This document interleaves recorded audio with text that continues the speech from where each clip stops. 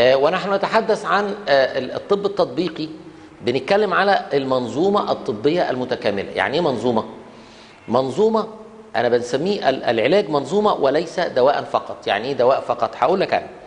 أنا دلوقتي الفرق ما بين المريض والسليم إن السليم بيقدر يقاوح ويتغلب على مرضه ويتغلب على وجعه ويستمر. ليه؟ لأن هو ضامن منظومة. بيقدر يمشي عنده تفاؤل. بياكل غذاء صحي كذا كذا. فيبقى عنده ميكروب عنده المرض عنده الألم بس بيقدر يتغلب عليه. ده السليم. المريض تعريفه هو من أقعده المرض عن ممارسة عمله. لا ده المغص شديد مش قادر أقوم. لا ده الحرارة سخنة بد- بقوم أدوخ. لا ده أنا مفاصلي وجعاني لدرجة إن أنا مش قادر أدوس عليه. يعني إذا المريض أقعده المرض. ده المريض. لكن لو لقيت واحد ماشي ورايح وجاي وعمال يتكلم وأنا ظهري بيوجعني وعضلاتي وفقرات رقبتي وركبي وهو جاي لك ماشي ورايح وجاي وبينزل ويقوم يقعد ده بيكذب أو بيمثل أو بيتمارض أو بنقول عليه إذا رأيت إنسانا يشتكي من كل شيء فاعلم أنه لا يشتكي من شيء يعني إيه ده المريض النفسي المريض النفسي يقول لك ده أنا مناخيري بتوجعني وعندي صداع وودنك. ودني بتوجعني ورقبتي بتوجعني وفي صعوبة في البلع وبرجع. وجنابي بتوجعني وركب بتوجعني وهو تلاقيه ماشي ورايح وجاي وطالع ونازل. إذا لم يقعدك المرض لم يقعدك المرض عن ممارسة حياتك أنت مش مريض. خلي بالك. طيب أنا دلوقتي بقول إن العلاج منظومة وليس دواء فقط. يعني إيه يعني لازم يكون عندي تفاؤل وإن أنا عندي شوية وعكة شوية إسهال شوية كحة شوية كل ده هيعدي. إيه المشكلة يعني؟ لازم تكون عندي تفاؤل ومرونة نفسية ان هعدي المرحلة دي. النقطة الثانية إن يكون عندي ممارسة رياضة لازم أنا بمشي بشتغل.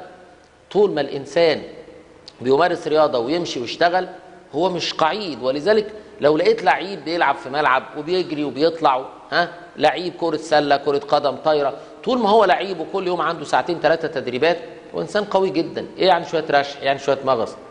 طول ما الإنسان بيمارس عمل أو بيمارس رياضة هو إنسان عظيم جدا وأي مرض مش هياخد معاه فترة. ليه؟ لأن مناعته كويسة جدا. يبقى أول حاجة عنده تفاؤل منظومة الكاملة للعلاج وليس الدواء التفاؤل أهم. أهم ركن. الركن الثاني طب إذا كان التفاؤل أهم ركن يبقى التشاؤم هيهدك. لو رحت للدكتور قال لك مفيش أمل يعني واحد بيعمل تحليل لقى كرياتينين ثلاثة الدكتور يقول خلاص هتغسل. ده هده مع إن ثلاثة ما بيغسلش إحنا ما بنغسلش إلا إذا عدى كرياتين 10 مثلا. طيب يبقى ال- المنظومة العلاجية المتكاملة تتكون من التفاؤل تتكون من آه، الرياضة لازم تمارس رياضة. طب مريض قعيد ما بيقدرش يقوم ولا يقعد يبقى لازم حد يدارك له جسمه ساعة الصبح وساعة بالليل. طيب وال- والغذاء الصحي. الغذاء الصحي لما بتيجي تكلم بعض الناس عن الغذاء الصحي كان يتكلم عن وهم. أنا لما بحب آكل مش عارف باكل مكرونة بحب آكل مش عارف باكل آه، آه، حاجة مشوية باكل بروتين بس. يعني واحدة تقول هاتوا لي حتة فرخة بس. في واحد تاكل بروتين بس؟ يعني في واحد في بني آدم ياكل بروتين بس؟ إيه ده؟ ده البروتين واحد من ست عناصر من الأكل والسلطة الخضراء يجب تكون قد البروتين أربع مرات. أنت بتاكل بروتين بس. يعني شفت مرة واحد والله طالب كيلو لحمة مشوية حاف. تاكل لحمة مشوية بس وإحنا بقينا أسود. فأنا الناس دي ما عندهاش ثقافة الأكل. مع إن الناس اللي تقدموا عننا عارفين إن الإنسان له 100 جرام بروتين فقط. سمك أو فراخ أو لحمة أو بيض. إنما أنا ناكل فرخة لوحدي أو آكل كيلو لحمة لوحدي ده كلام ما يرضيش ربنا.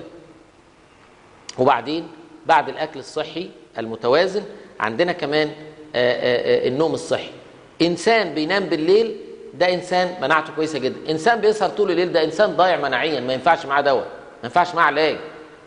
فمهم جدا ابقى عارف يعني إيه منظومة علاجية متكاملة.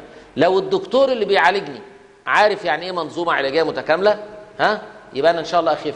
لو الدكتور اللي بيعالجني يقول لي خد الدواء ده ومسكنات مسكن لبوس ومسكن حقن ومسكن شرب وهتبقى كويس بيضحك عليا. لأن كده هعيش على المسكنات بقيت عمري لغايه ما يجيني فشل كلوي ويجيني المعده تنثقب ويبقى عندي قرحه آه، منثقبه. فده ما يرضيش ربنا. فلازم نعرف إن العلاج اليومين دول بقى اسمه إيه؟ المنظومة العلاجية المتكاملة وليس الدواء فقط. إن شاء الله نكمل في حلقة قادمة إن شاء الله.